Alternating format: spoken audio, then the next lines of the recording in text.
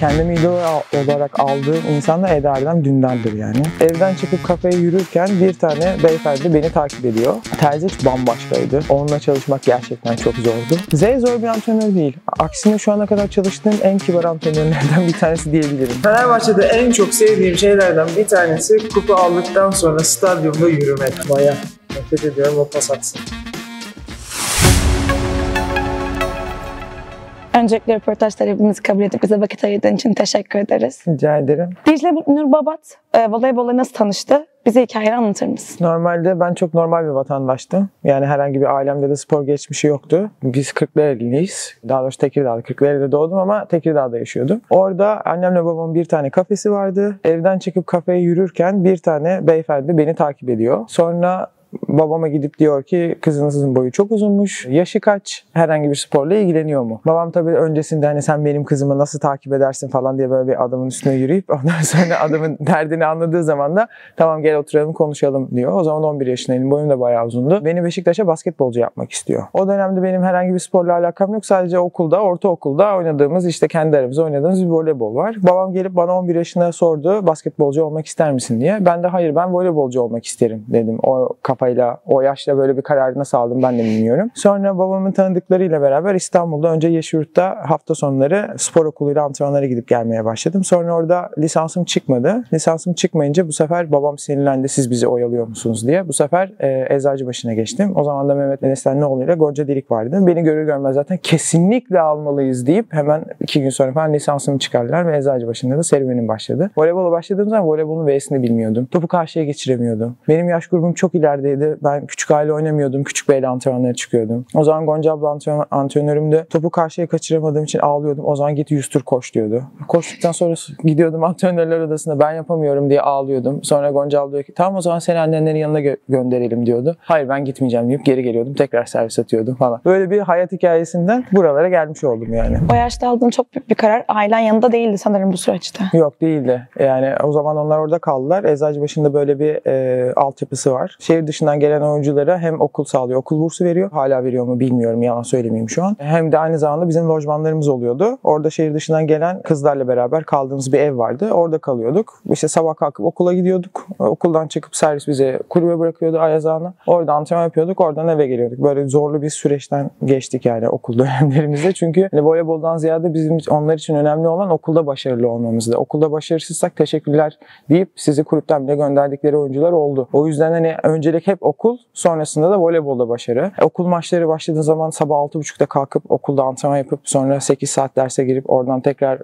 Ayazağ'a gidip orada antrenman yapıp bir de biz Bahçeköy tarafında oturduğumuz için en uzak köşede kaldığımız için her zaman biz en son bırakılıyorduk. 11'de 12'de eve geliyorduk. Sonra sabah 6.30'da kalk tekrar okula git böyle bir süreçten geçtik yani hepimiz. Yani bayağı çektin diyebiliriz. Bayağı çetin geçti evet. Kendi voleybol stilini nasıl tanımlıyorsun? Yani az önce de böyle bir bilgi vermiş gibi oldum. Aşırı hırslı bir oyuncuydum ben. Yani çünkü benim yaş grubumda olup e, Eczacıbaşı'nın altyapısına gelen ya da Vakıfbank'ın altyapısına gelen bir sürü oyuncu vardı. Ama vazgeçip bırakanlar oldu ya da yetenekleri yeterli değildi. Ben de bir e, voleybolcu olarak başlamadım. Hiçbir şey bilmeyerek voleybola başladım. Eczacıbaşı'nın altyapısına. Sırf boyum uzun diye başladım açıkçası. Ama sırf benim yaş gruplarım benden nasıl daha iyi. Çünkü onlar maça gidiyorlar, maça çıkıyorlar. Benim lisansım yok. Ben maça çıkamıyorum. Sadece gidiyorum onları tribünden izliyordum 11-12 yaşındayken. Dedim, benim de burada olmam gerekiyor. Benim daha fazla çalışmam gerekiyor diyerek bir yerlere geldim. O yüzden hırslı olarak tanımlarım ben kendimi. Bir orta oyuncunun blok performansı hücumda aldığı topları sayı çevirebilmesiyle ilişkili mi? Bugüne kadar hücumda etkili olmanın blok performansına en net şekilde olumlu et- etki ettiği sezonu hatırlıyor musun? Yani ben aslında tam tersi bakıyorum bu olaya. Çünkü şöyle tersten bakıyorum. Evet etkili doğru orantılı. Ama ben üçlü tur orta oyuncusuyum. O yüzden benden beklenen her zaman bloktur. Hücum daha fazla değildir. Eğer maç içerisinde blok bulamıyorsam, pasta alamıyorsam oyun içinde tamamen kendimi kaybettiğimi düşünüyorum. Eğer blok yapabiliyorsam zaten kendimi oyun içinde hissettiğim için zaten topta öldürebiliyorsun gibi oluyor benim için. Yani pas aldıkça blok yapabiliyor değilim. Blok yaptıkça top öldürebiliyorum gibi hissediyorum ben daha çok. Yani oyun içine ne kadar çok kalıyorsam ki oyun içine kalabilme sebebim blok yapmak ya da bloktan top sektirebilmek. Bunu yapıyorsam ben top öldürebildiğimi düşünüyorum. Tam tersi bakıyorum ben bu olaya. Bir sporcuya kendini idol almakla ilgili düşüncelerin nedir? Kariyerinde kendine örnek aldığın bir isim var mıydı? Yani şöyle hepimiz bu 2002 Avrupa Şampiyonası'ndaki kadroyu izleyerek büyüdük diyebiliriz yani. Hatta Natalya ile ben Beşiktaş'ta aynı takımda oynadım mesela. İnanılmazdı. 2003 hatta. 2002 2003 2003 senesinde Natalya ile hatta aynı takımda oynadığın zaman şey olmuştum böyle. Aa biz izliyorduk ama şu an aynı takımdayız falan. Ve bunu yaşayan belki bir sürü sporcu vardır. Onun dışında da şimdi milli takımımız öyle bir yere geldi ki o kadar fazla bir ilgi alaka var ki bu voleybola. Bundan dolayı izleyip ve voleybola başlayan binlerce kız çocuğu var bence. Benim kendimi idol olarak aldığım insan da Eda Erdem Dündar'dır yani. Hem karakteriyle hem oyunuyla. Zaten 8 senede Fenerbahçe'de beraber oynadık. İnanılmaz bir karakter, inanılmaz bir oyuncu.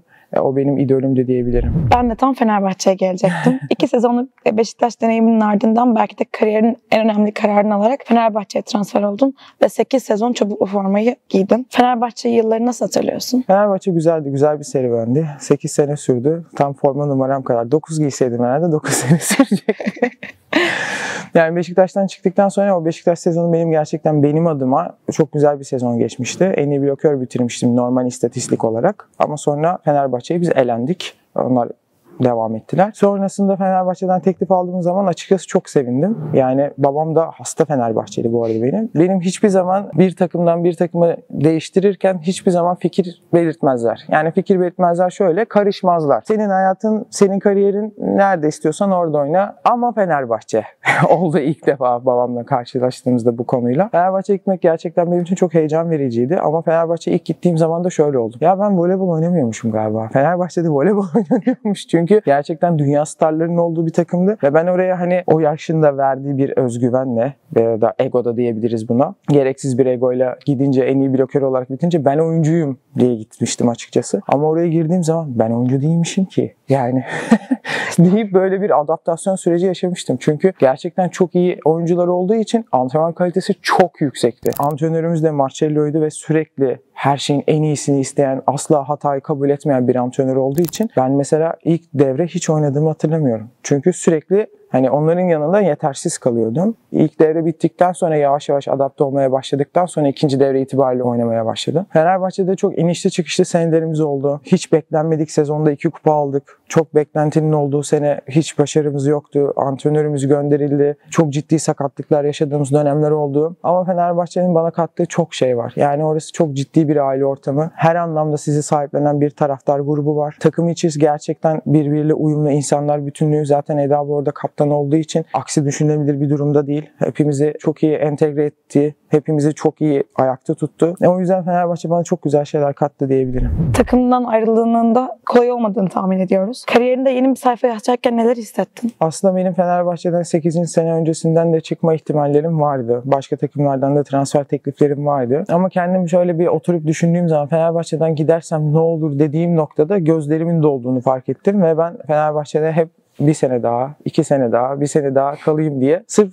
duygusallıktan başka kulübe gider, gidersem ne yaparımı bilmediğimden o duygusallıktan dolayı mesela Fenerbahçe'den ayrılmak benim için çok zor olmuştu. Onun öncesinde de düşündüğümde çıkarken de çok zor oldu. Çünkü orası benim artık ailem olmuştu. Çok küçük yaşta gidip 8 sene orada kalınca herkesi artık böyle aile olarak benimsediğimiz için 8 sene boyunca her takım değişiyor ama oradaki staff grubu neredeyse bir bütün kalıyor. O yüzden hani oradan çıkmak benim için gerçekten çok zor olmuştu. Çok zorlanmıştım yani. Sanırım en büyük destekçin ve taraftarın da ailendi bu süreçte. Öyle öyle. Yani çünkü onlar benim yanıma gelemedikleri için altyapıdan itibaren her maçımda buradalardı. Altyapı dahil olmak üzere Beşiktaş, Fenerbahçe ki hala Türk Hava Yolları her maçımda benim buradalardır. Her maçı izlerler. Gelemediği maçlar oluyor mu? Evet oluyor ama o zaman da, da televizyon başında izliyorlar. Maça çıkmadan önce de konuşuyoruz. Maçtan sonra da konuşuyoruz. Buraya geldiği zaman maçlardan sonra oturuyoruz, yemek yiyoruz. Hani sürekli benim yanımdalar yani. Hiç kaçırmazlar.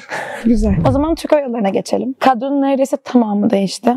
9 yeni isim geldi. Yeni katılan oyuncuların adaptasyon sürecini nasıl gözlemledin? Takımda geçtiğimiz sezona göre en önemli değişikliğin ne olduğunu düşünüyorsun? Yani gerçekten e, bu sezon böyle bir değişimin bizi bu kadar zorlayacağını açıkçası ben düşünmemiştim. Yani daha önceki takımlarında da böyle bir köklü değişikliklerin olduğu takımın içerisinde de bulundum. Ama gerçekten adapte olmak zor oldu. Çünkü bunun da şundan sebebiyet verdiğini düşünüyorum. Hem antrenörümüz hem oyuncularımız e, milli takımlarında olduğu için geldikleri zamanda çok kısa bir süremiz olduğu için biz direkt maç oynamaya başladık.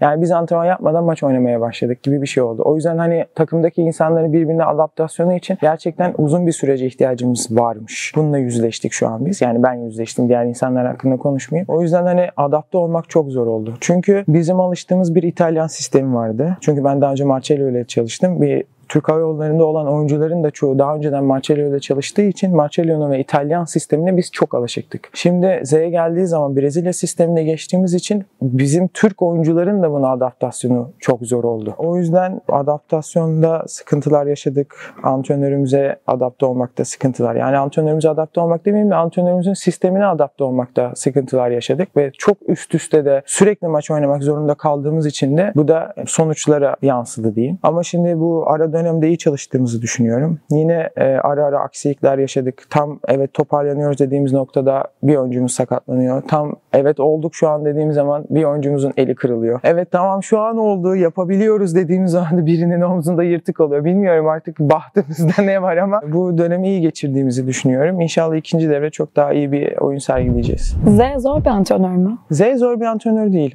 Aksine şu ana kadar çalıştığım en kibar antrenörlerden bir tanesi diyebilirim. Gerçekten iletişime çok açık. İnanılmaz kibar, inanılmaz naif, inanılmaz beyefendi. Yani en küçük bir örnek vereyim. Atıyorum deplasmandayız. Salona gireceğiz. İlk kapıdan o geçtiğini düşünün. Kapıdan geçmiyor. O kapıyı açık tutuyor. Bütün staff, bütün oyuncular kapının içerisinden giriyor, en sona giriyor. Aynı anda kapıya mı geldiniz? Asla kendisi önce geçmez. Başkasının geçmesi için bekler. Yani ben daha önce böyle bir insanla çalışmadım. Bu kadar kibar bir insanla hiç görmedim. Belki mutlaka yapıyorlardır ama Z'nin bu konudaki şeyi, dışarıdaki hayatı inanılmaz kibar, inanılmaz naif. Antrenmanda bile çok nadirdir böyle bağırıp çağırıp böyle bir şeyler söyledi. Orada bile bir şeyi bin kere anlatabilecek bir antrenör, sabırla anlatabilecek bir antrenör. O yüzden Z ile çalışmak hiç zor değil bence. Z'den bahsetmişken kariyerin boyunca birçok önemli antrenörle çalıştın. Bu isimlerin sana kattığı önemli şeylerin ne olduğunu düşünüyorsun? Uf, zor soru. Beşiktaş, Nilüfer'deyken bambaşka bir antrenör. Beşiktaş'ta Adnan Kıstak. Sonra Fenerbahçe Marcello, üzerine Yanda Brandt, üzerine Terzic, üzerine Marcello bir daha, üzerine Z. Adnan abi ben Beşiktaş'ta çalışırken onunla daha önce çalışmış oyuncular şey demişti mesela Adnan abi. Sakin demiş. ben Beşiktaş'ta çalışırken. Çünkü gerçekten o da defansa gerçekten çok önem veren, yerlerde süründüren bir antrenör olarak bize söylenmişti. Yapıyor muyduk? Evet yapıyorduk. Ama çok daha az yaptığımızı söylüyorlardı. Biz yerden kalkamıyorduk. yani sağ mı temizlenmesi gerekiyor? Biz geliriz Beşiktaş olarak diyor yani Adnan abiyle. Ee, Adnan abi o şekildeydi. Maç öyle dediğim gibi her zaman yüzde yüzünü isteyen yani sakatlandım evet sakatlandım. Tamam antrenmana girme. Ama antrenmandaysan ve bana %30'unla antrenman yapma. %100'ünle antrenman yapacaksan antrenmana gir diyen bir adamdı. Ee, ve onun sistemi çok değişik bir sistemdi. Evet orta oyuncuya iş düşüyor muydu? Evet düşüyordu kendi açımdan söyleyeyim. Ama mesela ben blokta arayı kapatma zorunluluğum yoktu mesela köşe oyuncuları kapatmak zorundaydı ve bu benim işime aşırı iyi geliyordu mesela. Ama e, Marcello'nun taktiğine aşırı güvenirdim. Yani biz orta oyuncular olarak ayrı bir toplantıya girerdik. Smaçörler ayrı, pasörler ayrı, liberolar ayrı ve bazen bize ev ödevleri veriyordu. İşte bu maçı izle bana gördüklerini yaz gibi. Sonra toplantıya bir giriyorduk. Aa, gerçekten oluyor. Söylediklerin tuttuğu falan oluyorduk. Ya da maç içerisinde diyorduk ki mesela şimdi pasör 4 numaraya pas atacak ve oraya git blok yap. Eğer ikiye pas atılırsa tamamen elini kaldırır ve benimdi der. Ama bu arada bunu istatistik, istatistik olarak sunarsak yüzde kaç tutuyor diye yüzde 90 derim. Yani öyle bir analiz ediyordu. Çok toplantı yapardık Marcello'yla. Saatlerce sabahlara kadar maç kazansak bile o maçı izlerdik biz. Ama geri dönüşü mesela çok iyi oluyordu. Ona da mesela yeni kurulmuş bir takım verseniz bu kadar antrenman yapmakla o adaptasyonu çok iyi sağlardı. Çünkü biz sabahlara kadar toplantı, Marcello öyle saatlerce antrenman artık şeyiz böyle. Marcello antrenmanları ve toplantıları azaltsın biz yapalım oluyorduk yani. Zeyi zaten anlattım. Terzic bambaşkaydı. Yani e, onunla çalışmak gerçekten çok zordu. Çünkü nasıl anlatayım? Sistemi bambaşkaydı. Yani orta oyuncu hiç görev yok. orta oyuncunun çok bir görevi yoktu. Daha çok böyle smaçörlerin ve pasör çaprazlarının üzerine kurulmuş bir düzendi. Bazen bir gün geliyordu sabah antrenmanı yapmayalım hadi gidelim deyip oturuyorduk kahve içiyorduk mesela. Bir gün geliyordu 2 saat top antrenmanı yaptırıyordu. bir gün geliyordu sadece servis atın gidin diyordu. İşte ya da tatil yaptık iki gün döndük deli gibi koşturuyordu bizi. Yani çok değişik bir adamdı.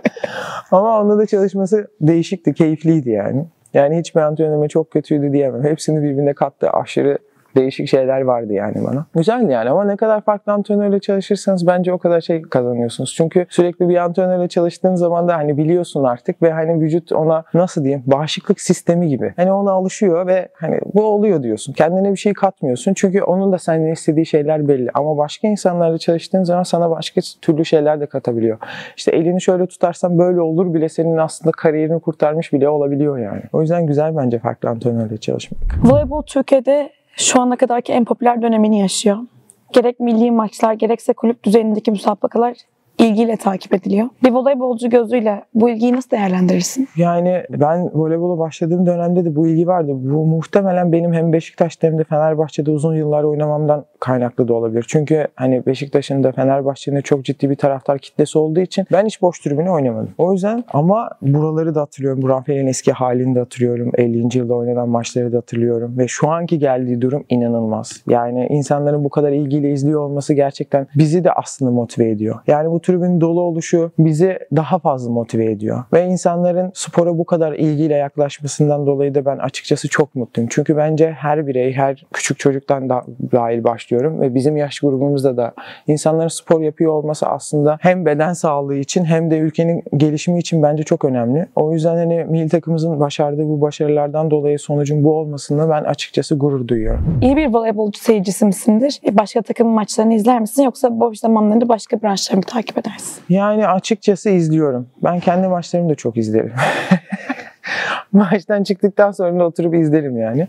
Başka takımın maçlarını da izlerim çünkü bir kere oynamıyoruz o takımlarla. Birden fazla oynuyoruz. Playoff serisine geldiğimiz zaman çok daha fazla oynuyoruz. O yüzden e, bir de şöyle bir durum oluyor. Yine aynı şeye geliyorum. Sezon başında takımlar çok değişiyor. Sezon başında oynadığı topla, kaliteyle sezon sonunda ka- doğru oynadığı kalite birbirinden farklı oluyor. Ya da bu transfer döneminde oyuncular değişiyor, yeni oyuncular gelebiliyor. O yüzden bunlara hakim olabilmek benim hoşuma gidiyor. Çünkü karşılıklı oynayacağım için karşımdaki oyuncunun neyi ne kadar yapabildiğini bilmek isterim. Çünkü ben bir orta oyuncuyum. O yüzden izliyorum. Ya da futbol maçlarını da izliyorum. Basketbol maçlarını izliyorum. O an hangisi denk gelirse izliyorum yani. Ya bunu aslında şu sebeple sordum. Dizi film oyuncuları dönüp kendi filmlerini izlemediklerini söylerler. Hani voleybolcularda bu durum nasıl diye. Böyle arada açıp açıp izlediğim dediğim bir maç var mı? Çok iyiydi ya dediğim böyle.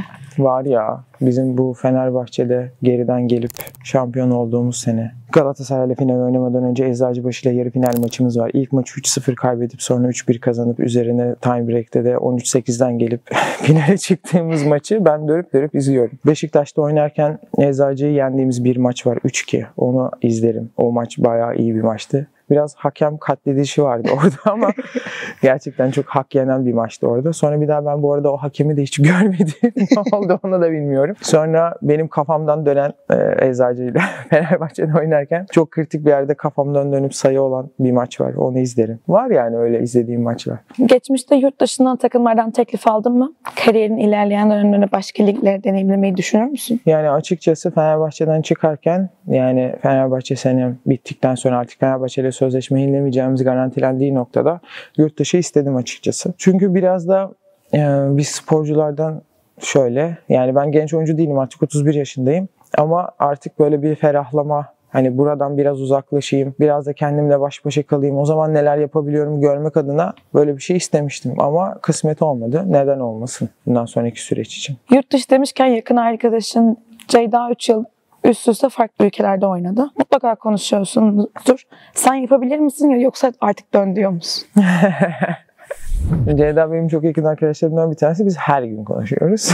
Konuşmadığımız gün yok gibi bir şey. O da mesela bunu düşünerek konfor alanından çıkmam gerekiyor. Bundan dolayı sorumluluk almam gerekiyor. Bundan dolayı yurt dışında oynamak istiyorum diye yurt dışına çıktı. İlk sene Yunanistan, ikinci sene Macaristan, üçüncü sene Belarus. Hepsi birbirinden çok farklı ülkeler ve çok farklı voleybol oynanan ülkeler. Açıkçası ben Ceyda'yı dön diyorum ama o bana dön deme diyor. Çünkü o orada artık daha fazla zorlanmaya başladığı için hani benim de aklım orada kalıyor. Siz bana böyle söyledikçe benim de dönesim geliyor diyor. O yüzden hani bizim dön dememizi istemiyor. Yani yurt dışında oynamak bir de 3 sene üst üste yurt dışında oynamak gerçekten bence çok zor. Bir de bu sene Belarus'a çok daha erken gitti. Yani yazın neredeyse burada kalmadı gibi bir durum oldu. O yüzden de onun için bu sene biraz daha zorlu geçiyor. Bir de Belarus dediğiniz yer eksi 15. yani burnumun direği sızlıyor diyor markete giderken bile. o yüzden hani ben mesela Belarus'ta yapamayabilirdim. Hani belki Avrupa ülkeleri bir nebze bize daha yakın olduğu için ama hani Avrupa dışında bir ülke çok zorlar gibime geliyor beni de. Kariyerin geride kalan bölümüne dönüp baktığında keşke şunu yapmasaydım dediğin bir durum oldu mu? Mutlaka vardır ama şu an spesifik bir şey söyleyemem. Ama mutlaka şey demişim yani ya burada o elini neden içeri sokmadın? Ya da neden bu buna bu kadar üstüne düşmedim, buna çalışmadım? Neden daha erken kalkmadım? Mutlaka demişimdir çünkü 20 yıldır voleybol oynuyorum. Demişim illa. Genç bir sporcudan tecrübeli bir sporcuya geçiş sürecinde kendinle ilgili keşfettiğin yeni yönler oldu mu? Kendini daha iyi tanıdıkça neler keşfettin? Yani bunu 30 yaşla bağdaştırabilirim. 30 yaşa gelince gerçekten ben bir aydınlanma yaşadım. Yani e, nasıl dersiniz böyle bir ışık aydınlanmıyor ama böyle hayata bakış açınız değişiyor. Hayata bakış açınız değiştiği için ben kendi özelimde konuşuyorum. Benim hayata bakış açım değişti. Üzüldüğüm şeylere üzülmemeye başladım. Güldüğüm şeylere daha fazla gülmeye başladım. Bir şeyleri önemsemem çok daha azaldı. Çünkü artık şey oluyor böyle Voleybol bazında da söylersek 30 yaşına gelince artık 20 yıldır aynı şeyleri tekrarladığınız için artık biraz daha bir şeyler otomatik olmaya başlıyor. Çünkü voleybol tamamen tekrar spor. Ne kadar bir şeyi tekrarlarsanız o kadar size oto beceri olarak yerleşiyor. O oto becerilerin artık tamamen oturmaya başladığını düşünüyorum ben 30 yaş itibariyle. Bundan dolayı da bence bu artık daha kolay olduğu için bir şeyleri daha fazla zorlamaktan ziyade otomatikman olduğunu düşündüğüm için bence bu tecrübeli yaş aslında çok daha keyifli bence. Böyle bir özgür kız ruhuna sahipsin. Bırakıp gidecekmiş gibi. Ben şey, e, Arnavut'um. Biz Bulgar geçmiyoruz. Arnavut'uz o yüzden ben çok inatçıyım. Yani az önce voleybolda kendini nasıl tanımlaştın ya hırslı, o hırs da Arnavutluk'tan geliyor yani. Çok inatçıyımdır. O yüzden e, bir şeyi bir de mantık insanıyım. Bir şey benim mantığıma oturmuyorsa o şey yanlıştır. Böyle bir hayata bakış açım var benim. Bir şey mantığıma oturmuyorsa bunu ben sonuna kadar sorgularım. Yani bana burada de ki burası aslında turuncu diyeceğine. Hayır ben turuncu görmüyorum. Bana bunun turuncu olduğunu kanıtla derim. Ben eğer bunun turuncu olduğunu kanıtlarsam benim için çok okey. Ama kanıtlayamıyorsam da sabah kadar kavga ederiz. O yüzden dolayı da evet o kavganın sonunda da ben sinirlendiysem eğer bir, bir şey olduysa ya da bir duygu durumunun değişikliği olduysa evet çeker gitme durumum var benim.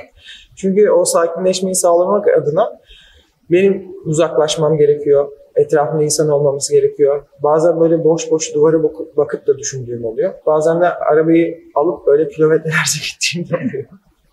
o yüzden hani bu yalnız kalma olayı beni aslında resetliyor. Yani o an kavga ettiğimiz zaman ya da tartıştığımız ya da o zaman sinirliysem ben bir şeyleri mantıklı düşünemiyorsam e, yalnız kalıp bir şeyleri düşünüp idrak edip ondan sonra e, bir şeylerin farkına varıyorum aslında. Araba kullanmayı seviyor musun? Çok seviyorum. Yani ben uçakla gitmeyeyim, kilometrelerce araba kullanıyorum. Açayım müziğimi. Tek başıma da olur, yanımda birisi de olur fark etmez. Çok seviyorum. Kilometrelerce giderim. Hiç sorun olmaz benim için. Arabamın kilometresine bakarsanız da anlarsınız. Felaket bir kilometre var ya. Bugüne kadar sosyal medyada göz gezdirirken hakkında okuduğun en ilginç yorum neydi? Uf, çok yorum vardır. Ama mesela bir dönem sosyal medyada yorumları kapattığım dönemlerde oldu. o yüzden çünkü e, bu taraftarın ilgisi bize bu e, sosyal medya üzerinden yorum olarak da geliyor. Evet yorum yapabilirler ama bazı yorumların gerçekten bizi üzdüğünü ve kırdığını bilmeleri gerekiyor. Benim çok üzüldüğüm, kırıldığım yorumlar olduğu için de ben bu sosyal medyada yorumları kapattığım dönemler oldu. Çünkü o dönemlerde genç yaşlı olduğun için bu yorumlar sizi gerçekten çok etkiliyor. Beşiktaş'tan Fenerbahçe'ye geçtiğim süreçte de mesela çok zorlanmıştım. Çünkü e, taraftar çok ciddi tepkisini çekmiştim Beşiktaş'tan Fenerbahçe'ye geçtiğim için. O yüzden bazı yorumlar gerçekten bizi ayakta tutabiliyorken, yani bizi mutlu edebiliyorken bazı yorumlar da gerçekten bizi çok üzebiliyor. Çünkü e, sosyal medya dediğiniz yer sonsuz bir uçurum. O yüzden hani ilginç yorumlarla alakalı bir şey diyemem ama bazı yorumların beni üzdüğünü, bazı yorumların da yücelttiğini söyleyebilirim. Şimdi sosyal medya demişken sosyal medyadan aldığımız bazı fotoğrafları göstereceğiz ve bize bunların hikayelerini anlatmanı istiyoruz.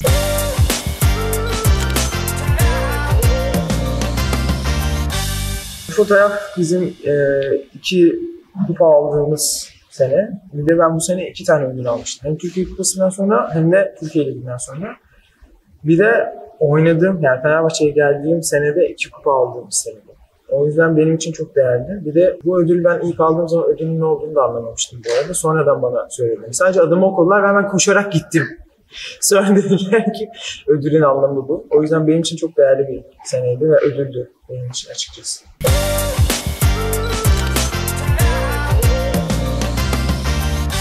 Oo. Fenerbahçe'de en çok sevdiğim şeylerden bir tanesi kupa aldıktan sonra stadyumda yürümek. Yani çünkü zaten Fenerbahçe'de oynarken çok ciddi bir tribüne karşı oynuyorsunuz ama futbol seyircisinin önüne çıkmak ve o stadyumda yürümek inanılmaz tarifi olmayan bir duygulardan bir tanesiydi benim için. Aslında biraz da bizim challenge'ımız oydu. Ya kupa kazanalım da stadyumda yürüyelim gibi bir şey oluyordu yani. O yüzden bu fotoğrafı gerçekten çok seviyorum. Güzel fotoğraf.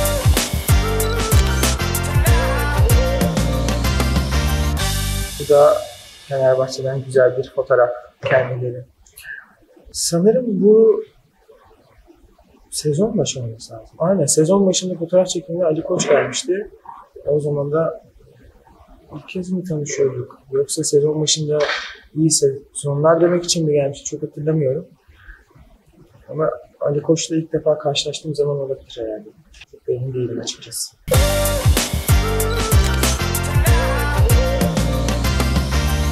Anam çok küçüğüm burada. Burası muhtemelen bizim okul takımı. Mehmet abiyle Gonca abla zaten ilk antrenörlerinden bir tanesi. Ve ilk şampiyonluğundan bir tanesi olabilir fotoğrafa baktığımda. O yüzden onlara çekilmiş fotoğrafım herhalde. Çok küçükmüşüm ya. Yaşlandım galiba.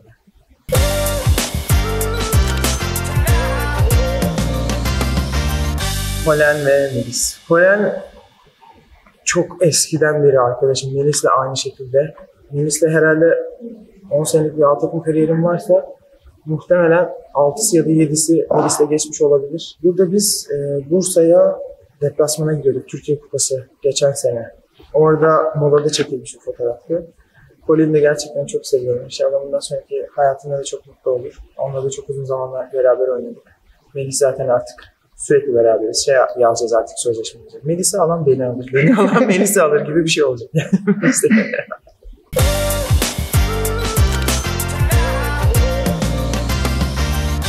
Evet, burada da muhteşem manşet maçı kazanma pozumuz. burada neden böyle bir poz verdiğimiz hakkında hiçbir fikrimiz yok. Geçen sene çekilen fotoğraf. Pana'yı da çok özledim. O da bir sakatlık geçirdi.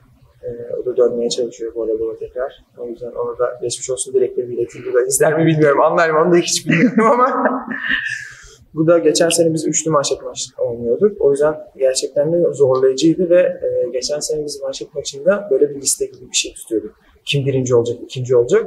Şeyma ile Melis birbirine çok yakındı.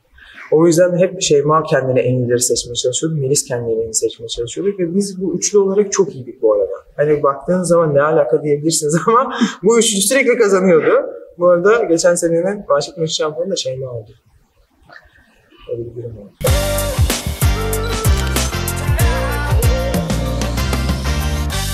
Ana bebek ben. bu muhtemelen bu fotoğrafı için anneme ya da babana sormanız lazım ama bana anlatılanı anlatıyorum. Eğer bu da 3 yaşında falan. 3 yaşında bile olmayabilir. Bu Kırklareli'ndeki evde, daha o zaman Kırklareli'nde yaşarken çekilmiş bu fotoğraf. Muhtemelen kız çocukları da babaları o zaman daha çok seviyor ve ben babam kucağından hiç bilmiyormuşum. Babam bile uyutuyormuş falan. Sırtımı okşayarak, ensemi okşayarak falan. O yüzden hep babamın kucağındaymışım o dönemlerde. Çok küçükmüşüm o zaman.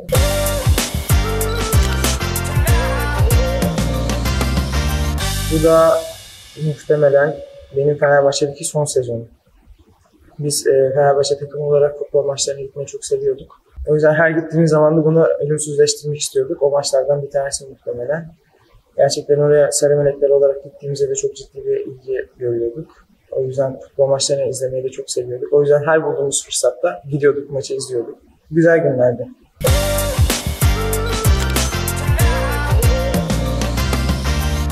Evet, bu acaba neresi? Burası bizim Kübra arkadaşımla beraber, aynı zamanda Aslı Kalaş'la beraber. Ee, aynı odada kaldık biz Kübra ile Aslı'yla. 20 gün Bakü'de kaldık. Olimpiyat elinde. O yüzden artık böyle duvara bir kağıdımız var. Sürekli böyle bir çentik atıyorduk. 19. 18, 17 diye gün sayıyorduk. Bir an önce bitsin diye çünkü artık olimpiyat köyünün içinde kaldığımız için kahvaltı aynı, öğle yemeği aynı, akşam yemeği aynı, sürekli aynı yerde antrenman yapıyoruz, saatlerce bir yere gidiyoruz, orada maç oynuyoruz, saatler birbirinden farklı. Çok bizi psikolojik olarak zorlayan bir turnuvaydı ama sonunun altın madalyayla bitmesi çok güzel oldu. Hatta bu turnuvanın sonunda şey sanırım Güldeniz abla kaptandı. Güldeniz abla madalyaları havaya atacağız mı falan diye bir muhabbet olmuştu. Sonra madalyaları elimize alınca fark ettik ki madalyalar çok ağır. yani atarsak kafamız kırılabilir, bir şey olabilir. Biz burada tutalım oldu. Ama bu turnuva gerçekten güzel ve değişik bir turnuvaydı bizim için. Keyifliydi. Şimdi kısa kısa sorularımız var. Kariyerinin en unutulmaz şampiyonu. Fenerbahçe'deki o e, geriden gelip finale çıktığımız sene. Bugüne kadar pas anlamında en iyi anlaştığını düşündüğüm pasör. Rabianka. Türk Hava Yolları'nda en iyi anlaştığın takım arkadaş. O kimi söylersem diğerine haksızlık olur. Ama yani Kübra'yı çok uzun zaman treniyorum. Şeyma'yı öyle, Melis'i öyle, Sıla'yı öyle. Yani biz böyle e, eskileriz gibi. O yüzden tek bir isim söylersem diğerine çok ayıp olur. o yüzden hepsi en yakın arkadaşım diyebilirim. En son kime ve ne hediye aldın? En son yılbaşında beraber yılbaşına girdiğim arkadaşlarıma bir yılbaşı hediyesi aldım. Rakip olarak oynarken en zorlandığın oyuncu. Maya. Nefret ediyorum o pas atsın. Hayranı olduğun bir ünlü. Seyfettin Kürşat Demir. En sevdiğin dövme. O benim gözüken böyle bir dövmem var. Sırtımda var. Bacağımın arkasında var. O yüzden ben bütün dövmelerimi seviyorum. Yani hepsi benim için anlamlı dövmeler. Bunu Fenerbahçe'nin ilk ikinci sezonunda yaptırmıştım. Bunu bu şurasını ve şurasını bu sezon başında yaptırdım. Omzumda ailemle alakalı bir dövmem var. Burada aşilimde bir anka kuşu var. Onu da Beşiktaş'tan sonraki sene. Yani hepsi bir şey oldu ve bundan dolayı bir dövme yapıldı. Hepsi benim için çok anlamlı. O yüzden kime hangisini söylersem diğerine ayıp olur. O yüzden hepsini çok seviyorum. Çok teşekkür ederiz size vakit ayırdığın için. Ben teşekkür ederim. Çok keyifliydi.